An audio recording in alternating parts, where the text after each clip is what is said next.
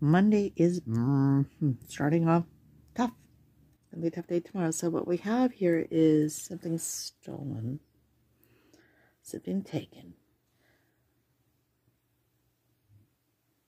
But we're not, we don't know what it is or who, excuse me, who is the one who took it.